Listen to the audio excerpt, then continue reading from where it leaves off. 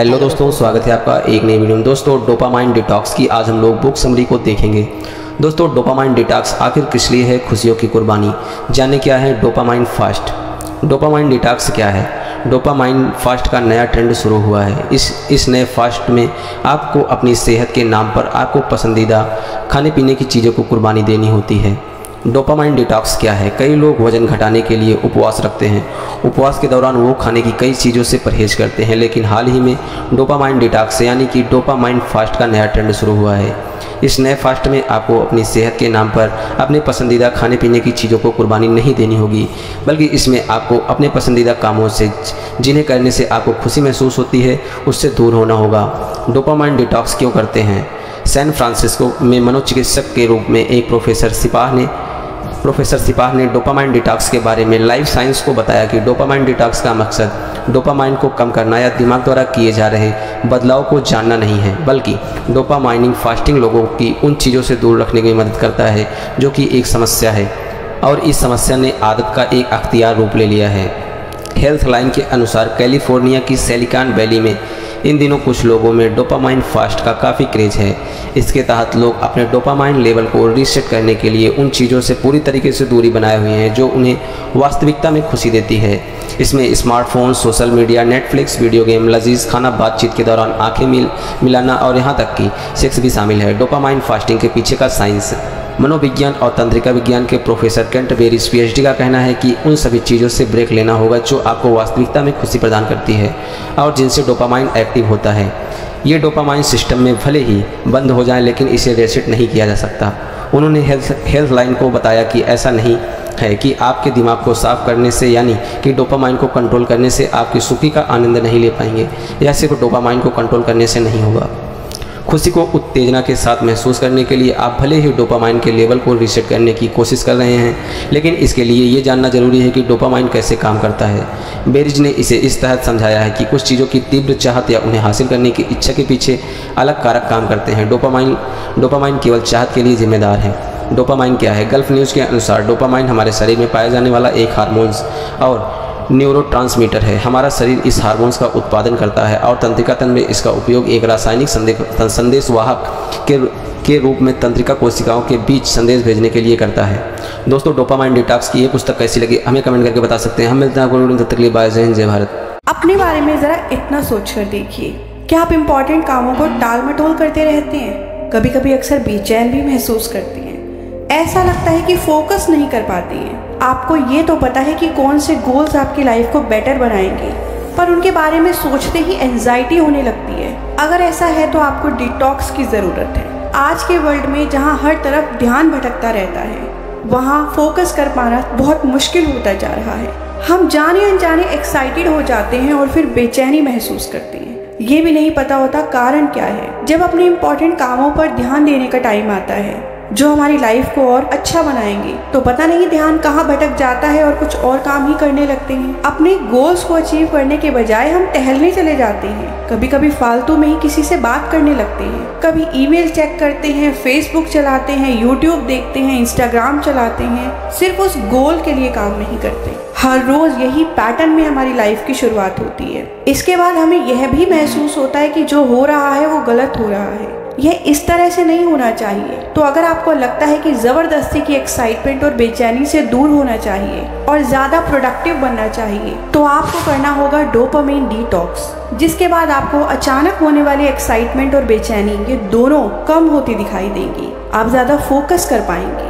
अपने आप को मोटिवेटेड महसूस करेंगे अपने उन कामों को करने के लिए, जिन्हें आप करना चाहते हैं लेकिन हो नहीं पाते हैं। फालतू की एक्टिविटीज़ से अपना ध्यान हटा पाएँगे और उसके बाद छुएँगे आसमान की ऊंचाइयाँ।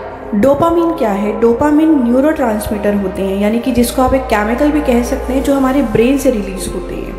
ब्रेन में न्यूरॉन्स होते हैं नर्वस सिस्टम के बेसिक बिल्डिंग ब्लॉक्स होते हैं और ये हमारे शरीर में इंफॉर्मेशन पहुंचाते हैं। उन्हीं में से कुछ न्यूरॉन्स से डोपामीन रिलीज़ होता है। डोपामीन हमसे आशा करता है कि हम बॉडी को कोई ना कोई रिवॉर्ड दें और उस रिवॉर्ड को पाने के लिए जो काम करना होता है, उस काम को करने के लिए मोटिवेट करता है डोपामीन यही वह शक्ति है जो हमें काम करने के लिए तैयार करती है। यह एक ऐसा इंपॉर्टेंट न्यूरो है जिसकी वजह से आज हम ज़िंदा है और हमारी जनरेशन भी आगे बढ़ रही हैं। लोगों को लगता है कि डोपामिन शायद खुशी देने वाला हार्मोन है, बल्कि नहीं। डोपामिन खुशी देने के लिए काम करवाने वाला हार्मोन है। काम करते हुए डोपामिन रिलीज़ होता रहता है और जैसे ही आपको रिवॉर्ड मिलता है, उसके बाद आप फिर से अधूरा और खालीपन महसूस करते हैं। हम में से हर कोई संतुष्ट होने की उम्मीद करता है, परंतु फिर भी कोई ऐसी एक्साइटमेंट नहीं है जो हमें संतुष्ट कर सके।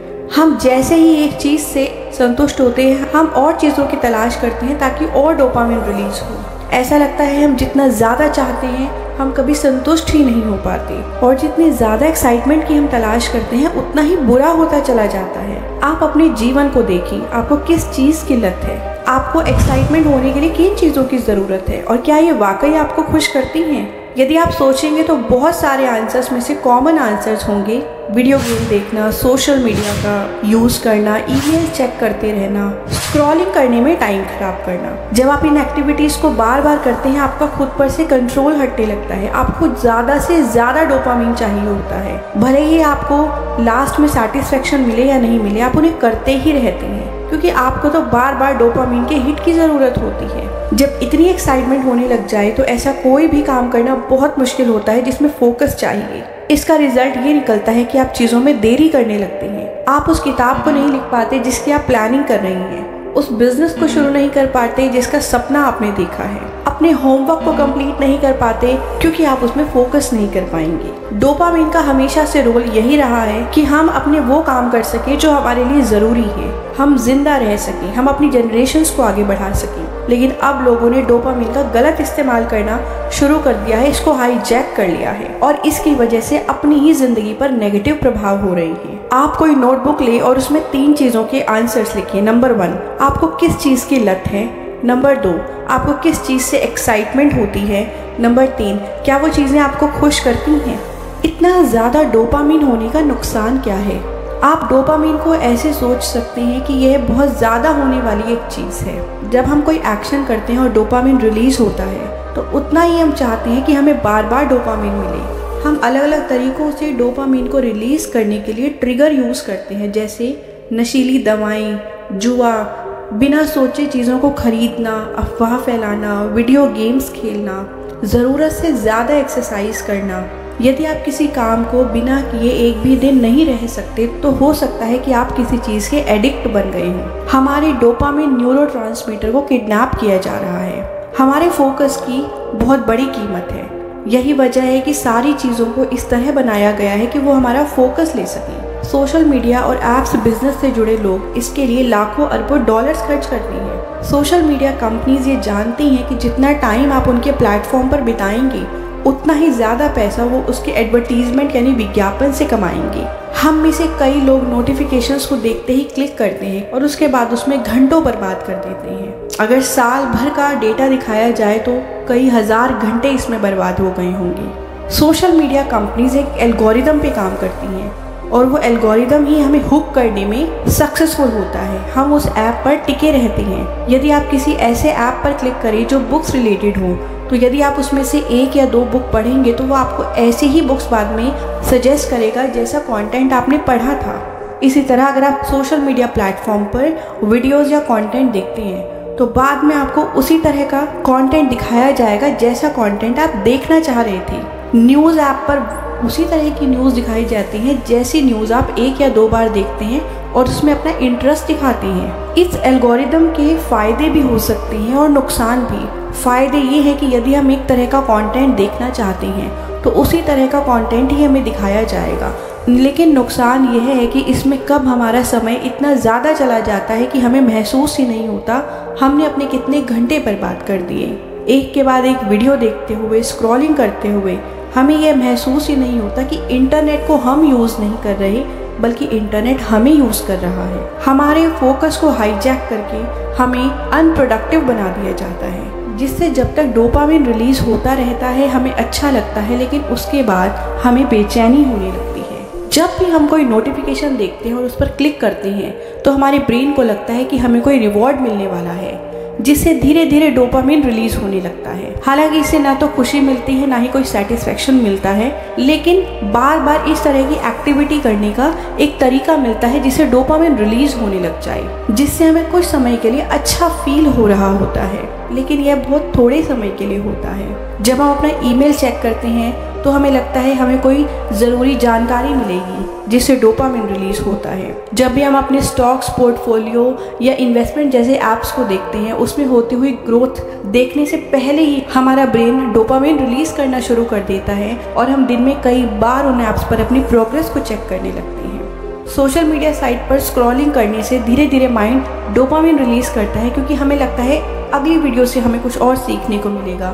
उससे अगले वीडियो में कुछ और जानकारी मिलेगी। इस एंटरटेनमेंट का रिवॉर्ड पाने के लिए ब्रेन डोपामिन रिलीज़ करता है। इन एक्टिविटीज़ में अपना टाइम लगाने के बाद हम बहुत ज़्यादा एक्साइटेड हो जाते हैं और उसके बाद धीरे धीरे हम अपना ध्यान गंवाने लगते हैं फोकस लूज होने लगता है। यदि आपने कभी कुछ दिन बिना सोशल मीडिया के बिताए होंगे तो आप समझ सकते हैं, उसमें हमारे कितने घंटे चले जाते हैं। फ़ूड क्रेविंग्स भी डोपामिन रिलीज़ का एक उदाहरण है। खाना हमारे लिए एक ड्राइव की तरह काम करता है। उस भूख को ख़त्म करने के लिए हम खाने जैसे रिवॉर्ड की एक्सपेक्टेशन करते हैं। वही फ़ूड हमें हमारे सारे काम करने की एनर्जी देता है। और जो फ़ूड हमें सबसे ज़्यादा पसंद होता है, वो न्यूट्रिशियस होता है टेस्टी होता है और कहीं ना कहीं उसमें कुछ मिठास होती है। पॉट्सडैम में German institute of human nutrition के एक बायोलॉजिस्ट के अकॉर्डिंग हम सभी जन्म से ही मीठा टेस्ट करने वाले खाने को खाना बहुत पसंद करती है, क्योंकि चीनी डोपामिन के रिलीज़ करने के लिए ट्रिगर करती है, हमें अच्छा महसूस कराती है। बहुत सारी साइंटिफिक रिसर्च से ये पता भी चला है कि जिस भी फ़ूड में शुगर और फैट ये दोनों तरह के सब्सटेंसेस पाए जाते हैं, वो फ़ूड हमें कहीं ना कहीं ज़्यादा टेस्टी लगता है। यदि हम अपने डेली के भोजन की तरफ़ देखें तो उसमें भी चीनी और नमक, इन दो चीज़ों का कॉम्बिनेशन होता है। आज खाना मिलना बहुत ईजी हो गया है। हम अपने सुपर मार्केट से लेकर आ सकते हैं। घर में भी बहुत ही आसानी से खाना बना सकते हैं। लेकिन आज भी जब हमें खाना दिया जाता है तो हमें ऐसा लगता है जैसे हमारी टेस्ट बर्ड्स को कोई रिवॉर्ड मिल गया हो। खाना खाने के बाद एक संतुष्टि का भी एहसास होता है। यहीं पर फ़ूड बिज़नेस हमारी इस कमज़ोरी को जानकर हमसे उनकी चीज़ों को खरीदवाने के लिए लाखों खर्च करती हैं। वो अपने फ़ूड में चीनी, नमक और फैट जैसी चीज़ों को मिलाकर फ़ूड को टेस्टी बनाते हैं। इसी कारण से अगर हम कोई भी पैकेज फ़ूड को देखते हैं तो उसमें ये सभी इंग्रेडिएंट्स देखे जा सकते हैं।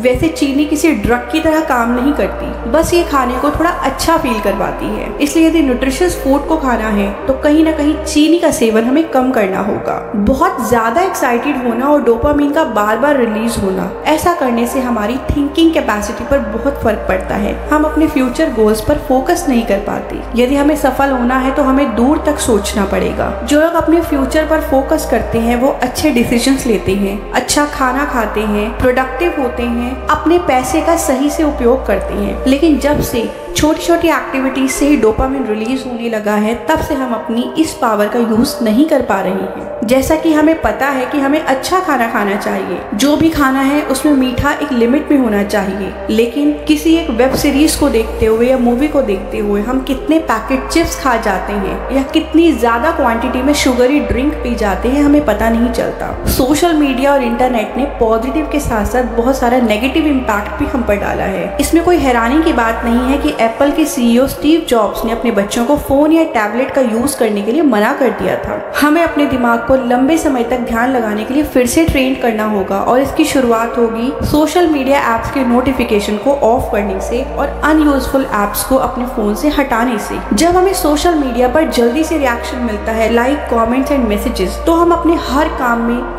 उम्मीद करते हैं कि जल्दी से रिज़ल्ट आए, जैसे लाइक कमेंट और मैसेजेस आ जाते हैं। दूसरी तरफ़ सोशल मीडिया का एल्गोरिथम भी इसमें सपोर्ट कर रहा होता है क्योंकि वो भी यही चीज़ें शो करता है। यहीं से गलत मानसिकता आने लगती है कि जो भी सफलता है वो मेरे पास जल्दी से आनी चाहिए। मुझे किसी काम को करने के लिए कड़ी मेहनत करने की ज़रूरत नहीं है। लेकिन दिन भर वीडियोस देखने से आपको अपने टारगेट तक पहुँचने में मदद नहीं मिलेगी। रोज़ाना छोटे छोटे एक्शन लेने पर लंबे समय तक हम उसको कर पाएँगे। दूर तक सोचने से ही आपके गोल्स अचीव होंगे, लेकिन यह एक रात में नहीं होगा। कोई सफलता जिसे हम एक मिनट में देखते हैं, वो कई सालों के लिए एफर्ट्स का परिणाम होता है। आपने अपने आप को अपने कामों को टालते हुए देखा होगा। उसका कारण जानने की कोशिश करती हैं। जब हम फोकस्ड होते हैं और शांत होते हैं तो हमारे लिए काम करना बहुत आसान होता है। हम उत्साह में भी होते हैं, अपने टारगेट्स को पूरा करने के लिए काम भी कर रहे होते हैं। लेकिन इस अवस्था के साथ साथ हमारी लाइफ में और भी बहुत कुछ चल रहा होता है। हम अक्सर भाग दौड़ कर रहे होते हैं ट्रैवल कर रहे होते हैं, घर के कामों में लगे हुए होते हैं। हमारे कामों में कई बार रुकावट आती है और हम इस रुकावट को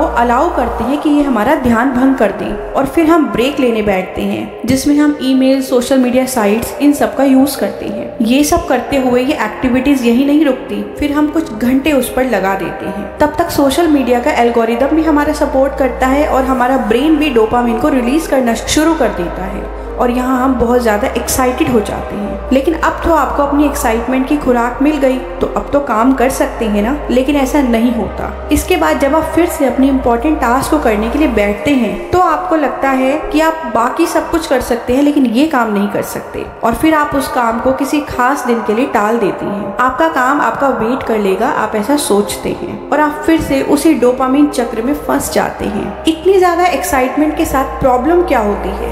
प्रॉब्लम ये होती है कि जब आपके माइंड को छोटे छोटे एक्शन से ही डोपामिन मिलने लगता है तो उसको इम्पोर्टेंट काम बहुत ज़्यादा बोरिंग दिखाई देते हैं। ऐसा लगता है कि किताब को पढ़ना या कोई प्लानिंग करना या टाइम टेबल बनाना बहुत बोरिंग है। इससे अच्छा तो मैं कोई एक्साइटमेंट वाला काम करता हूँ। उसके बाद मीडिया और सोशल मीडिया से इंटरेक्ट करते हुए हमें वो चीज़ें ज़्यादा रोमांचक लगती हैं और फिर अपने सेट किए गए टारगेट्स को क्लियर करना एक बहुत ही मुश्किल काम बन जाता है। आपका ब्रेन आपको एक्साइटेड करने के लिए कुछ ट्रिक्स चलता है। नंबर वन वो आपको यकीन दिलाता है कि आपके टारगेट्स को कभी भी अचीव करना बहुत आसान है।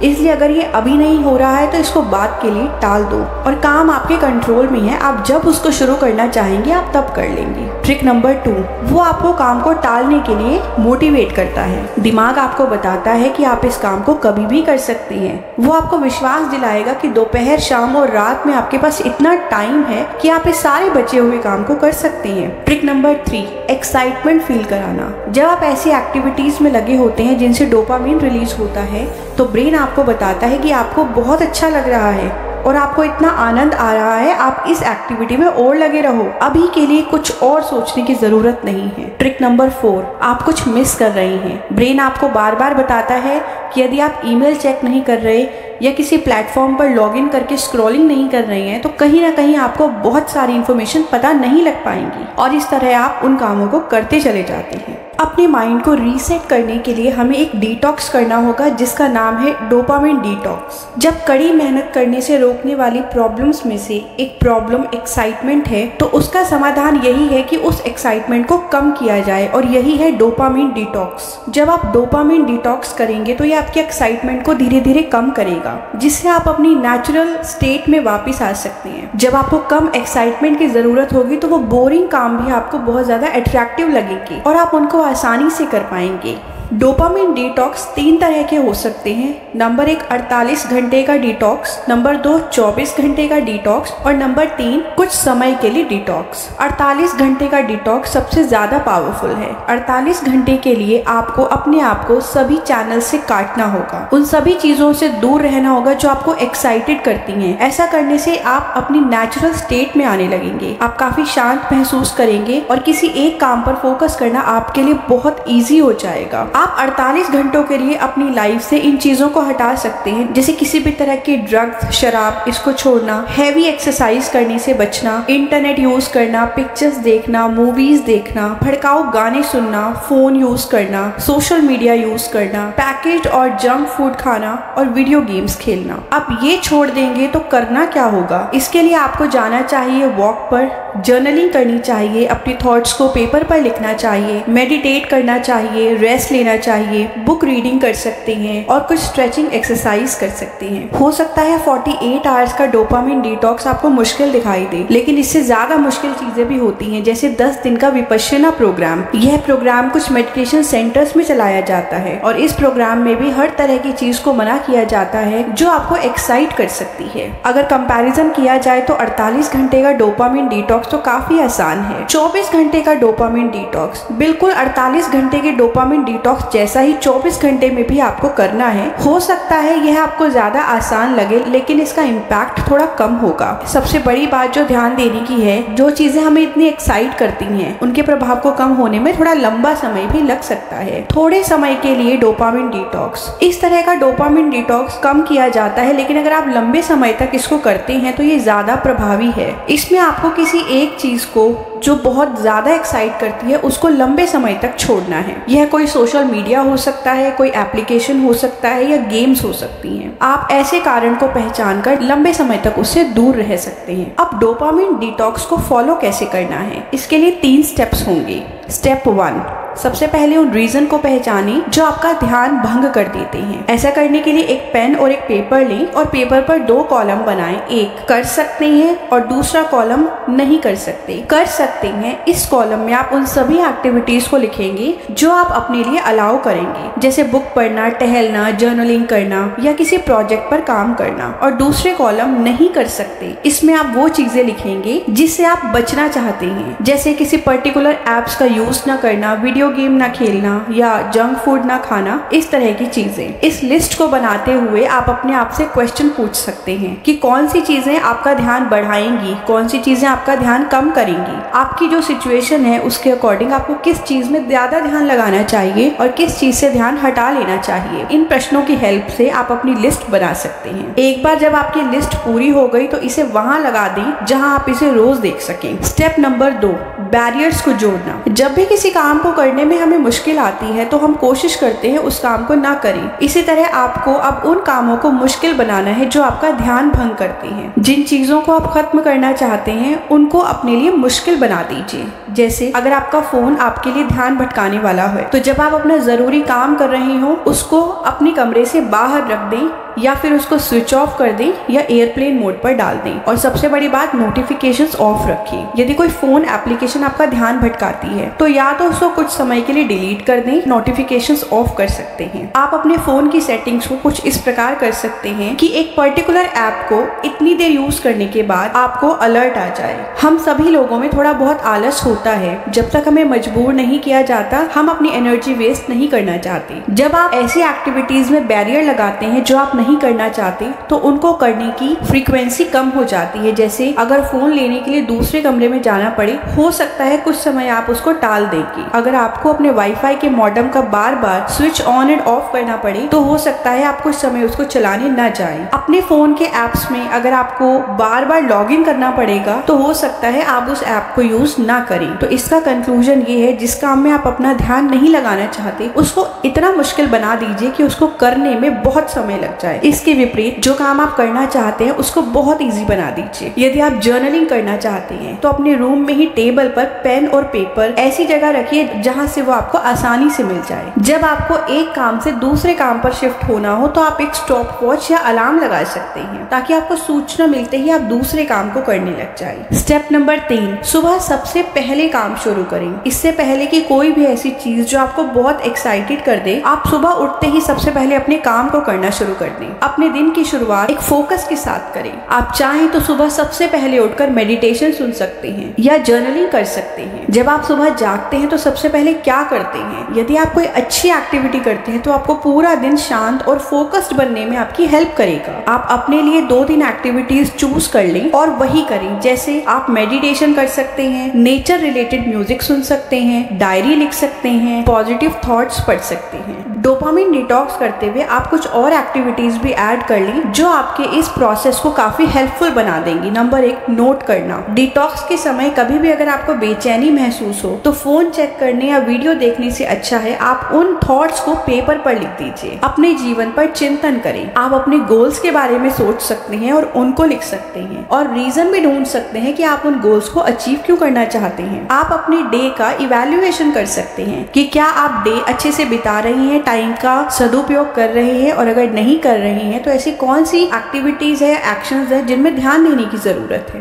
अपने कामों को कैसे टालिए? प्रोकेस्टिनेशन यानी कामों को टालने की ये बीमारी हम में से बहुत सारे लोगों को होती है। उस पर भी काबू पाना बहुत ज़रूरी है। इसके लिए सबसे पहले हमें अपने पूरे दिन की योजना बनानी होगी। जब आप यह तय कर लेते हैं, हर दिन क्या काम करेंगे और उससे आपको क्या हासिल होगा तो आपका ध्यान भटकना कम हो जाएगा। जितने बेहतर इरादे होंगे, उतना ही बेहतर परिणाम होगा। तो सबसे पहले ये नोट डाउन करना है कि आपका कौन सा काम इम्पोर्टेंट है। जब आप अपने दिन की प्लानिंग करते हैं। तो उससे आपको ये पता चलता है, आपके लिए कौन से काम इम्पोर्टेंट है। आप अपने कार्यों को बिना रुके कर सकते हैं और आप अपने आप को कंट्रोल कर सकते हैं। अपने दिन की प्लानिंग करने के लिए किसी फैंसी प्लानर्स की ज़रूरत नहीं है, बल्कि एक आसान सा तरीका जो लोगों ने भुला दिया है पेन और पेपर सबसे इम्पोर्टेंट कामों को लिख लें, लेकिन उनको प्रायोरिटी सीक्वेंस में लिखिए जो ज़रूरी है, उनको पहले और जो कम ज़रूरी है, उनको बाद में। एक काम करने के बाद ही दूसरे काम को करें और तब तक करते रहें जब तक आपके सारे काम खत्म नहीं हो जाएँ। एक बात ध्यान रखें, सबसे इम्पोर्टेंट काम वही होते हैं जिन्हें हम सबसे कम करना चाहते हैं, क्योंकि वो बहुत ज़्यादा चैलेंजिंग होते हैं। और इसी सब में डोपामिन डिटॉक्स भी आपकी हेल्प करेगा। अपने काम की योजना आज के ही लिए ही नहीं, आप चाहें तो दो महीने, छह महीने, साल भर या अपने लाइफ टाइम गोल्स को अचीव करने के लिए भी ऐसे ही बना सकते हैं। यदि किसी बड़े गोल्स को पूरा करना है तो आपको रिवर्स इंजीनियरिंग करनी होगी। मतलब आपको ये सोचना होगा कि उतने बड़े गोल को पूरा करने के लिए कौन कौन से छोटे स्टेप लिए जाएँगे और फिर उन्हीं स्टेप्स को आज से ही करना शुरू कर देना होगा। आपको हर सुबह उठते ही सबसे पहले वो काम करना है जो आपके लिए सबसे ज़्यादा इम्पोर्टेंट है। भले ही आपके पास कितनी ही लंबी लिस्ट क्यों ना हो, कामों को करने में आपकी प्रोडक्टिव तीन चीज़ों से बढ़ सकती है। नंबर एक, आपका फोकस नंबर दो, आपकी आदत. और नंबर तीन, अपने कामों की पहचान। अगर आप अपना फोकस बनाकर कामों को पहचान कर उनको रोज करेंगे तो आपकी प्रोडक्टिविटी कई गुना बढ़ जाएगी। आप अपने फोकस को बढ़ाने के लिए ये ध्यान रखें मान लीजिए आप एक समय पर पढ़ाई करने के लिए अपनी डेस्क का प्रयोग करते हैं, प्रतिदिन उसी डेस्क पर ही अपनी पढ़ाई करें। यदि आप घर के किसी एक कोने में बैठकर अपने दिन की प्लानिंग करते हैं तो रोज वही बैठकर करें। क्योंकि जब आप ज़्यादा दिनों तक ऐसा करेंगे तो उस जगह जाते ही अपने आप ही आपको काम के लिए मोटिवेशन आना शुरू हो जाएगा। आप अपने लिए एक ट्रिगर चुने। ट्रिगर यानी ऐसी चीज़ जो आपको उस काम की याद दिला दे, जैसे जैसे पेन और पेपर को उठाकर रखना और जर्नलिंग करना। तो जब भी आप पेन और पेपर